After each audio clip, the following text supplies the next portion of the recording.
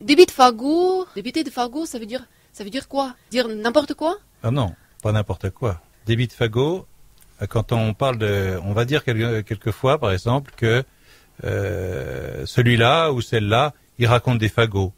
Il raconte euh, des petites histoires, des petites, euh, des petites bêtises, un petit peu. Donc, euh, c'est dans, on parle, on va parler comme ça dans, en vieux français, par exemple, ou en un petit peu d'une langue argotique. Débit de fagot, parce qu'un débit, euh, c'est quelque chose qui, qui coule, qui va vite, et c'est vrai qu'on raconte, moi je raconte en tout cas beaucoup d'histoires, donc beaucoup de fagots. Beaucoup d'histoires, beaucoup de bêtises. Combien d'années le public écoute euh, vos histoires et quelle est la réaction? Alors moi je suis conteur, donc euh, conteur, raconteur d'histoires depuis à peu près 22 ans maintenant. Mais avec Patrick, on travaille ensemble que depuis 4 années seulement. Patrick, euh, comment vous avez rencontré Bruno, on- je, suis contrebassiste au conservatoire de Saint-Nazaire. Nous nous sommes rencontrés euh, un, petit peu par hasard. Bruno avait, je pense, dans sa tête l'idée d'associer à ces histoires euh, une sonorité. Et la contrebasse l'a, de suite séduite, l'a inspiré. C'est vrai que la contrebasse a une sonorité qui s'adapte à la voix. Bruno est également musicien, donc il entend mes notes.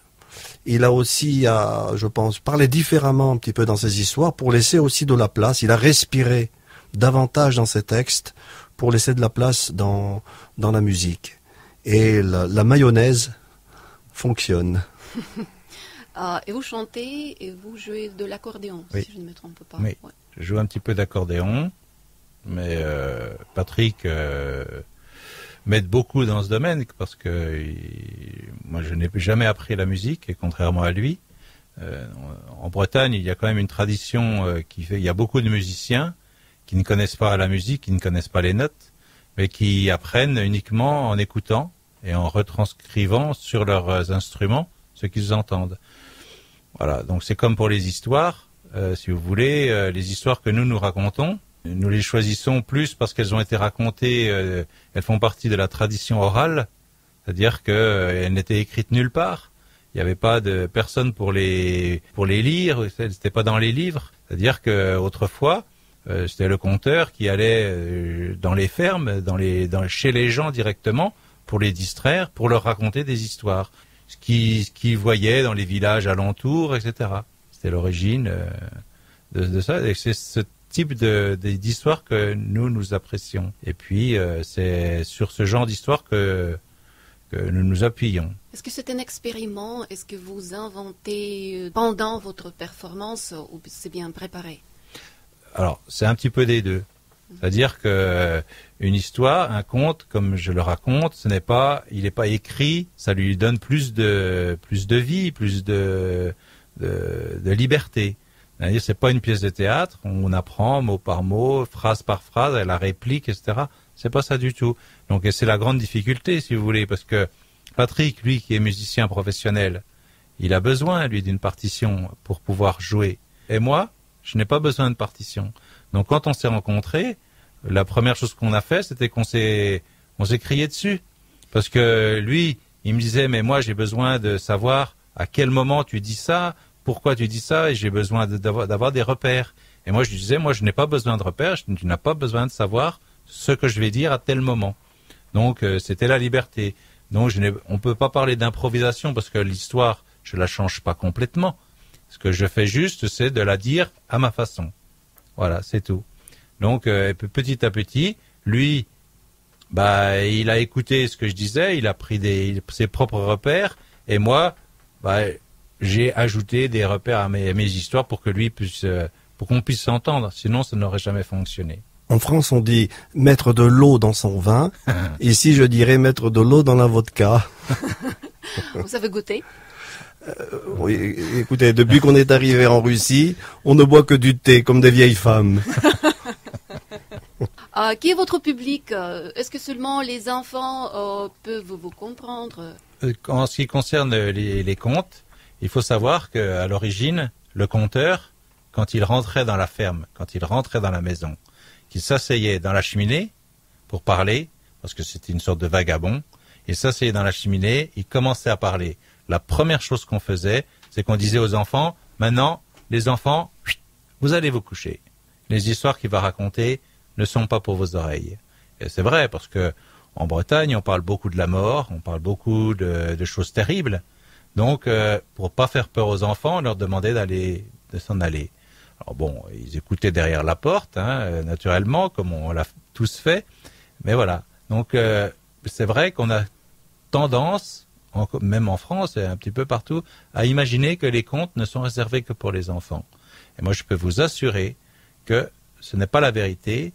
Nous racontons des histoires aux enfants, naturellement, mais également dans des, dans des maisons de retraite pour les, pour les, les anciens, pour les vieux, euh, des fois très vieux. Nous racontons des histoires chez les gens aussi, quelquefois, pour des adultes. Tous, tous ont les oreilles grandes ouvertes et tous sont touchés par, par les histoires. Même si ce sont des histoires très enfantines, ça n'a pas d'importance. Les gens euh, se laissent euh, se laissent attraper, accrocher par une histoire. Et, euh, voilà.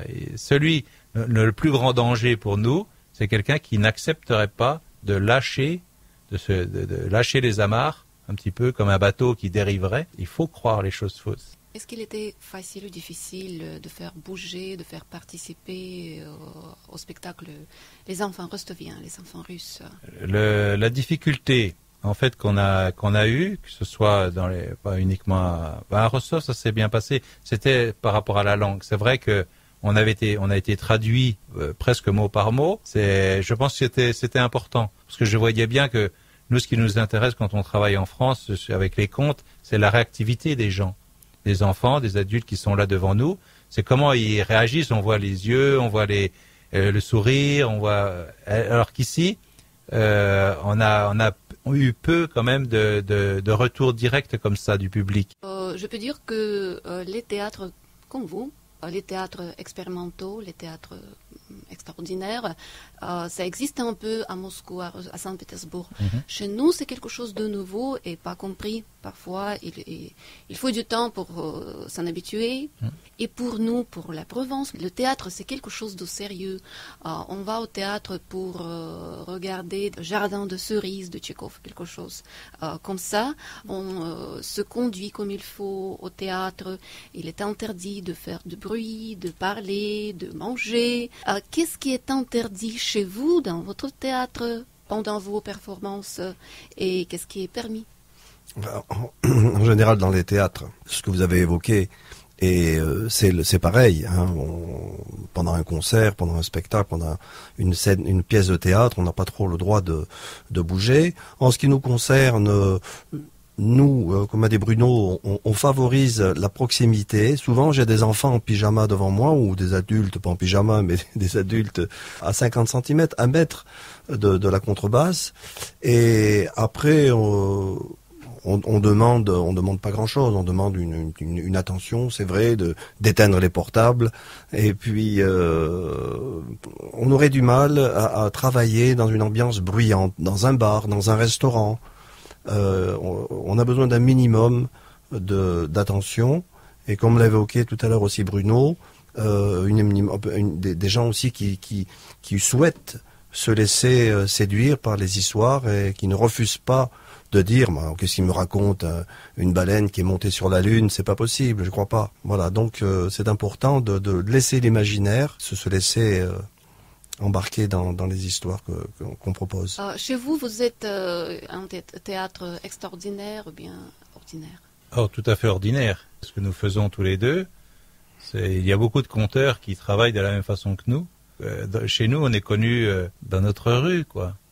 On, est connu peut-être un petit peu bon au niveau local. On, est des gens tout à fait simples. On essaye de juste de, de dire la parole, quoi. Et je crois que de toute façon, à partir du moment où on fait les choses avec, euh, avec son cœur, euh, il n'y a pas de problème, ça fonctionne. C'est vraiment un échange, c'est quelque chose qu'on fait ensemble.